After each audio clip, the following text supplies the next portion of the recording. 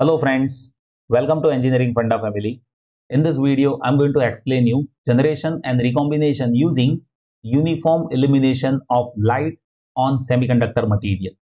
So here I'll explain you how exactly generation and how exactly recombination happens as if we fall light on semiconductor material.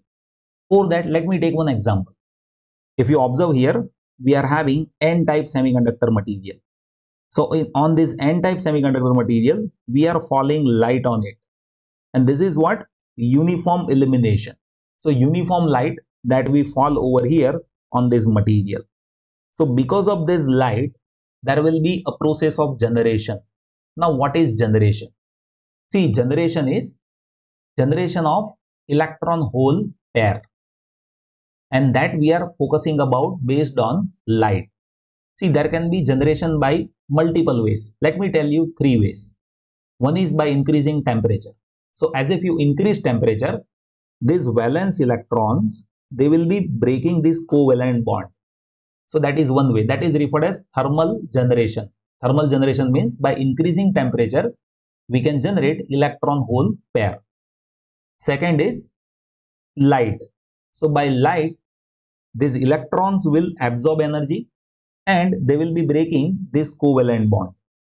And as if they breaks covalent bond, there will be generation of electron hole pair. And third way is by applying electric field. So by applying electric field, there can be generation of free electron hole pair, right? So here we will be discussing about generation and recombination with the use of uniform elim illumination by light. So here, as I have told you, there will be a generation of electron hole pair. Let me take one example. If you observe here by falling light on n-type material, let us say this electron that is getting free. So here there will be electron and this will be free electron now. This will be free electron now and at this space there will be vacant space. So that is referred as hole. So this is what about one electron hole pair. But likewise, there can be so many electron hole pair generation because of this light. Now, I'll be going to explain you the basic calculation, how generation and recombination that take place due to uniform illumination of light. So here on vertical axis, I'm considering concentration and on horizontal axis, I'll be considering time. So here what I'll do is, I'll be considering at time t is equals to 0, we will switch off light. So here see from t is equals to 0 onwards light will be off and before t is equals to 0 light will be on. Right. So here before t is equals to 0 light is on and after t is equals to 0 light is off. Now see what will happen as if light is on. As if light is on there will be generation of concentration. Now, when you talk about generation of concentration, at that time, equal number of electrons and holes are generated over here. Here, if you observe, I am taking example of N-type semiconductor material. So, in N-type semiconductor material, already free electrons are there. So, majority carriers are electrons.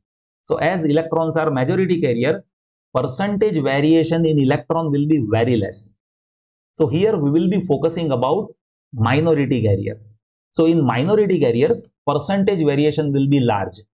If you talk about semiconductor devices like pin diode, like photodiode, right, like light emitting diode. So in that, usually we focus on minority carriers. And with the change of minority carriers only, we can be able to understand what is the signal, right? In photodiode, we receive light signal. In light emitting diode, we transmit light signal, right? So in that we focus on minority carriers only. Always remember this. So here with N-type minority carriers are holes. So here concentration change for holes that will be focusing over here. Now let us consider we are not having any light. So there can be free electrons and holes due to thermal temperature. Like see at 0 Kelvin you can say there are no free electrons and holes but usually we do experiment at greater temperature compared to 0 Kelvin temperature. So always there will be some finite number of electron holes pairs. That will be due to temperature, remember this. So let us consider P0. See here we will be talking about minority carriers. So let us consider P0 that P0 is the concentration that happens due to temperature. Right. So here I am saying this is P0 that is happening due to temperature. Right. You can say this P0 is thermal. This P0 is thermal concentration. Right. Why it is thermal concentration? The reason is due to temperature, this value is there. This P0 will be 0 at 0 Kelvin temperature. Now we are discussing about light. So what will happen due to light?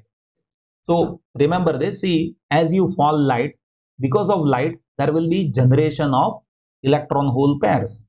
So here let us say here there is a generation of delta P delta P concentration which are the concentration of minority carriers and that is happening due to light.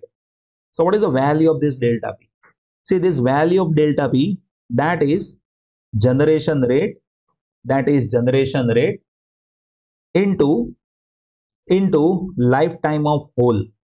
So generation rate that is number of concentration generated per volume per second into lifetime of hole right. So that will be delta p. So this additional delta p that is generated because of this light illumination. Right. Now here as if you observe this is constant over here up to t is equals to 0 but as we turn off light over here at t is equals to 0 what will happen? Now this concentration will start to decay. But that decay will be exponential. Let me show you how it will happen. You see this decay this decay that will be exponential. As if I say this is P as if I say this is P then that will be this P0 is constant throughout so this will be P that will be P0 plus. Now you see this delta P now that will get decrease exponentially. So this delta P into e to the power minus T divided by TP where this TP is lifetime of holes see that is how this will decay. Same thing will happen with p-type semiconductor material in which minority carriers will be electrons, right? So here there are few essential things that you need to note down for solution of examples. Here, see one thing that is based on what will be concentration. So I am writing that is delta P over here, but technically that will be delta P plus P naught, where P naught is thermal concentration that you can say which is happening due to rise in temperature. So as if you want to calculate total concentration P, then that will be P naught plus delta P, where this delta P that is generation into lifetime of hole, right? And here you see this decay that is happening with respect to delta P only, right? It is not happening with respect to P naught, where P naught is constant. The reason is here we are not changing temperature this P naught is temperature dependent, right? So here you can say this variation is very small. So as if you want to calculate variation over here at that time that will be purely depending on delta P and that is exponential decay. So delta P into e to the power minus T by TP or you can say tau P, right? So this is what exponential decay where tau P is lifetime of holes over here, right? So how recombination is related? So as if I say recombination is R, then that will be P minus P naught divided by recombination rate, right? Which is based on lifetime. So P minus P naught divided by tau P. That is how recombination will be there, right? Same thing which is there over here. You can observe delta P that is P minus P naught divided by tau P, but that is generation due to light Similarly, recombination will be P minus P naught divided by Tp. But here, concentration decay that is exponential, right? And here uniformly light is on, that's why that delta P which is generation of holes due to due to light over here. So these are the essential formulas that you will have to remember to solve problems. So in next video, I'll be going to solve three problems which are very interesting by those examples that you can solve only if you see this video. I hope you have understood this still. If anything that you would like to share, please note it down in comment section. I'll be happy to help you. Thank you so much for watching this video.